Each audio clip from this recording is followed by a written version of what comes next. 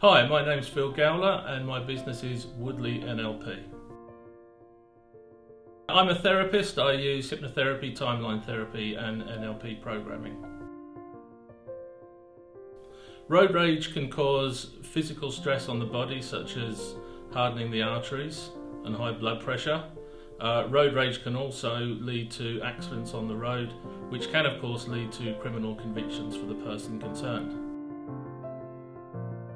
If you do suffer from road rage, then the best thing to do is to realise that you have a problem and then come to a therapist like myself because together we can work on the problem, remove it, and replace it with more positive behaviours that will give you a calmer, happier, and more successful life.